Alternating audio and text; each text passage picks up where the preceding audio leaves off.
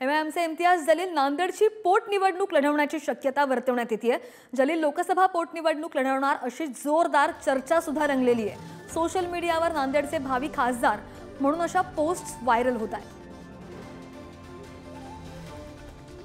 तर एमआयएमचे इम्तियाज जलील हे नांदेडची पोटनिवडणूक लढवण्याची शक्यता आहे आणि जलील लोकसभा पोटनिवडणूक लढवणार अशा चर्चा सुद्धा होत्या. मात्र आता सोशल मीडियावर सुद्धा नांदेडचे भावी खासदार म्हणून पोस्ट व्हायरल होताना पाहायला मिळते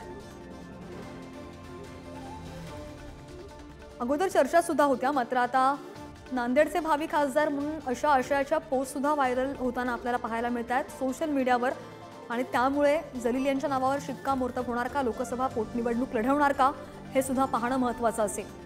सोशल मीडियावर नांदेडचे भावी खासदार म्हणून पोस्ट व्हायरल होत आहेत आणि एम आय एमचे इम्तियाज जलील नांदेडची पोटनिवडणूक लढवणार असल्याची चर्चा आहे. अधिकची माहिती कर आमचे प्रतिनिधी सचिन जिरे आपल्यासोबत आहेत. सचिन अगोदरपासून चर्चा होता आणि त्यानंतर अशा सोशल मीडियावर पोस्ट पोटनिवडणूक लढवणार अशी चर्चासुद्धा सध्या सुरू आहे.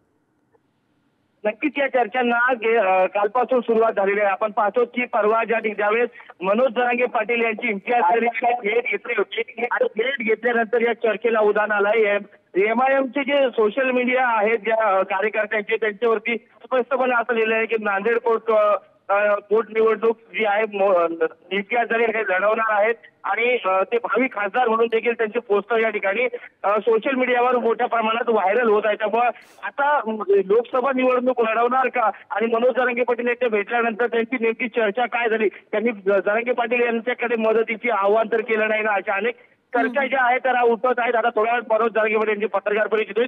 त्यानंतर त्यांना जेव्हा विचारलं तेव्हा पुढचं जे आहे ते स्पष्ट होणार आहे. श्रद्धा. हो नक्कीच सचिन ताजी माहिती घेत राहू. धन्यवाद दिलेल्या माहितीसाठी.